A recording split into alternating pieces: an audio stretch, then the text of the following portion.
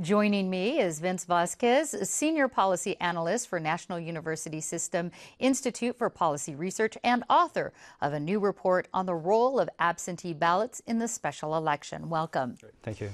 Now, Michael Vu just told us that a large number of San Diegans are voting absentee or with mail in ballots already, over 100,000.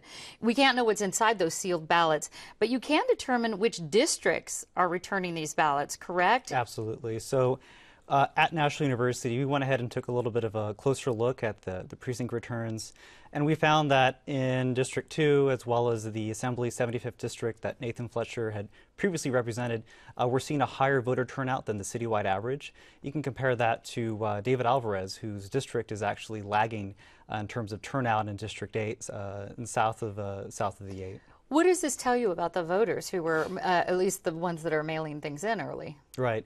Well, I mean, I, I, think we're really seeing a uh, powerful effect of the permanent absentee voter program. Uh, the majority of voters in the city of San Diego are actually permanent absentee voters.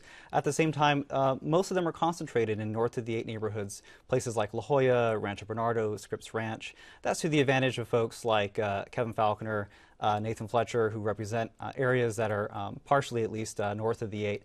But uh, at the same time, we know that the fact that on election day, about 100,000 voters are going to be casting their ballots at polling locations, and many of them will be uh, south of the 8, as well as other urban neighborhoods uh, in the city of San Diego. How does that break down along party lines, or does it? Uh, well, I mean, we see uh, Republicans and Democrats all throughout the city. Um, typically, though, the uh, precincts that have the highest percentage of, of Democratic voters are south of the eight. Uh, typically, Latino neighborhoods, African American neighborhoods, southeast, and, and uh, the border communities. Let's talk about that because so far I understand the turnout is low uh, in these mail in ballots in Latino precincts. Only about 15% have cast ballots so far. How much of an impact does the Latino vote or could it have in this election with such a small turnout? So, we already made a projection that the Latino uh, vote will actually uh, not matter as much as it did or have as much of an impact as it did uh, in the November 2012 election.